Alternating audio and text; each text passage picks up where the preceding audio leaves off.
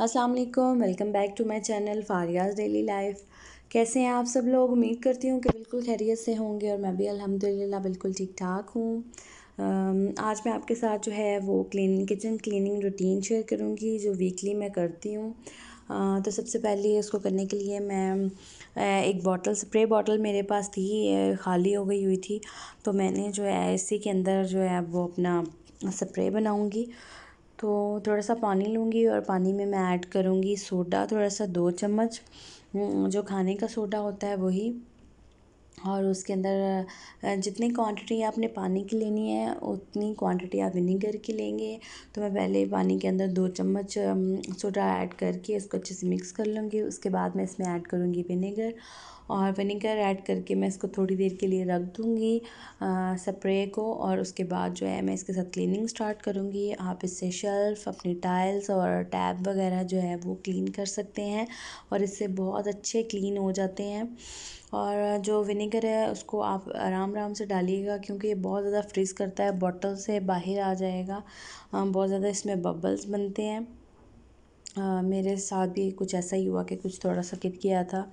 बेटी के लिए दलिया बना रही हूँ लेकिन वो बहुत ज़्यादा बीमार है तो कुछ भी खा नहीं रही है तो ये भी बिल्कुल वेस्ट ही गया था।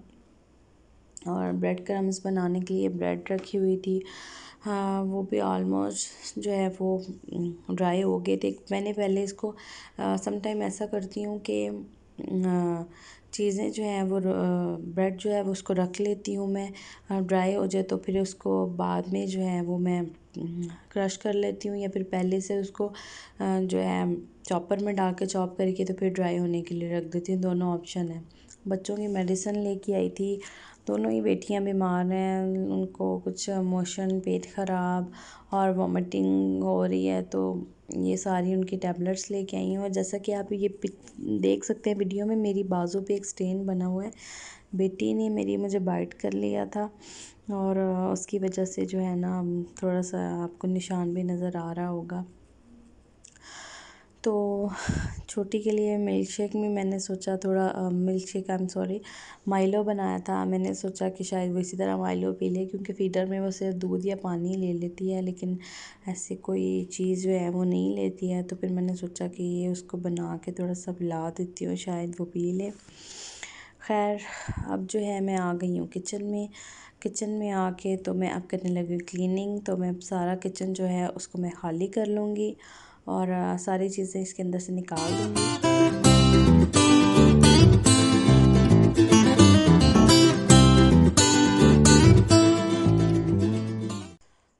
किचन मैंने सारा खाली कर लिया है तो माइक्रोवेव जो है उसको मैं क्लीन करने लगी हूँ तो उसके ऊपर मैंने स्प्रे कर दिया है। आ, ये दूसरा स्प्रे है जो मैंने बनाया था ये वो स्प्रे नहीं है ये थोड़ा दूसरा स्प्रे है जिससे मैं माइक्रोवेव जो है वो क्लीन कर रही हूँ। और सारा स्प्रे कर दिया है। और एहतियात कीजिए कि माइक्रोवेव के अंदर स्प्रे मत जाए, यानी कि जो उसके पीछे जाली बनी हुई है या ऐसी जगह से जहाँ से उसके अंदर पानी के ड्रॉप्स जा सकते हैं। उससे जो है वो माइक्रोवेव जो है ख़राब हो सकता है शॉर्ट सर्किट हो सकता है, कुछ भी हो सकता है। तो एहतियात कीजिए कि ऐसा बिल्कुल ना हो। तो साथ साथ मैं इसको स्पंज से साफ़ कर रही हूँ और मेरे पास जो एक्स्ट्रा ब्रशेस पड़े हुए थे, उससे मैं इसको साफ़ करूँगी। एजेस वगैरह जो है वो भी आप अच्छे से साफ़ कर लिया करें। हम देख सकते हैं बिल्कुल आपको ऐसा लगेगा कि अभी न्यू मैंने लिया है माइक्रोवेव इसको अब ये तीसरा साल होने वाला है। जब मेरी शादी हुई थी, मैंने उस पर लिया था तो अभी नवंबर में इसको पूरे तीन साल हो जाएँगे। तो इसको मैं बहुत अच्छे से क्लीन करके रखती हूँ। वाइट पीस के साथ साथ साफ़ करें। ब्रशेस जो मेरी बच्चों की फीडिंग बॉटल के जो है, वो जब मैं चेंज करती हूँ तो जो एक्स्ट्रा होते हैं, वो मैं इस, इन कामों के लिए यूटिलाइज़ कर लेती हूँ। क्लीनिंग के लिए स्टोव की साइड्स क्लीन करने के लिए, और टैप वगैरह को क्लीन करती हूँ साइड से तो उस, उसमें ये यूटिलाइज़ हो जाते हैं। तो अगर आपके घर में ये नहीं है टूथब्रश हैं तो आप उनको भी यूज़ कर सकते हैं। मैं वो भी यूज़ कर लेती हूँ। और अभी जो है स्टोव को भी सारा मैंने उसके ऊपर से जो जाली वगैरह वो उतार ली है। और उसको उतार के पहले मैं ये सारी शेल्फ़ वगैरह वो साफ़ करूँगी। किचन में क्योंकि पूरा खाली कर दिया है। तो अब मैं साथ साथ जो टाइल्स हैं और उनके ऊपर जो मैंने स्प्रे कर दिया था अब उनको मैं साथ साथ साफ़ करूँगी। तो ये कैबिनेट हैं, इनको साथ साथ साफ़ कर रही हूँ।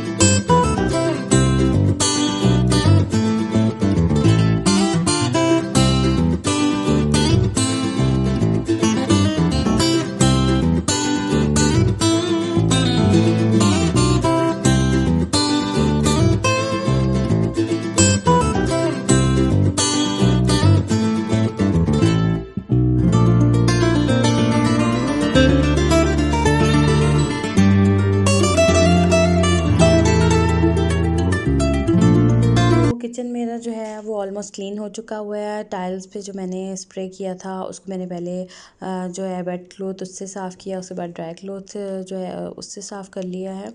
विनेगर का जो ये स्प्रे किया है इससे आपके किचन में जो कॉकरोचेज़ हैं, कोई मतलब इस तरह के जो इंसेक्ट्स वगैरह हैं, वो नहीं आएँगे। तो मैं अभी हाइब्रिड बनाने की कोशिश कर रही हूँ कि मैं वीक में टू टाइम जो है ये स्प्रे करके इसे डीप क्लीनिंग किया करूँ। वैसे तो मैं डेली बेसिस पे इतने अच्छे तरीके से किचन को क्लीन करती हूँ कि मुझे ज़रूरत नहीं पड़ती है कि मैं इसको इतनी ज़्यादा डीप क्लीन करूँ, लेकिन फिर भी मुझे अपने किचन से बहुत ज़्यादा प्यार है। और अभी कुछ दिनों में वैसे मैं अपने किचन की जो है वो चीज़ें भी चेंज करूँगी, क्योंकि मेरा एक डिनर सेट है, वो मैंने निकाला है तो मुझे उसकी सेटिंग करनी है कि मैं उसको कहाँ पे सेट करके रखूँ और इसको दूसरे जो बर्तन हैं उनको कहाँ पे किस कैबिनेट में शिफ्ट करूँ। अभी मेरे बहुत सारे कैबिनेट खाली भी पड़े हुए हैं, जो ऊपर के हैं। हाँ तो जो माइक्रोवेव की प्लेट थी उसको भी मैंने और जो ऊपर हुड की ट्रे थी उसको भी मैंने क्लीन कर लिया है और स्प्रे करके जो है किचन का सिंक और टैब वो भी क्लीन कर लिया है। और सारे कैबिनेट्स वगैरह को साफ़ करके और अब सारा जो किचन का सामान है वो मैं किचन में वापस रख दूँगी। तो आज की मेरी ये वीडियो आपको कैसी लगी और कैसा लगा मेरा किचन क्लीनिंग का जो है वो रूटीन मुझे प्लीज़ कमेंट में ज़रूर बताइएगा और अगर आपको मेरी वीडियो अच्छी लगी है तो मेरी वीडियो को लाइक कीजिएगा, मेरी वीडियो को शेयर कीजिएगा।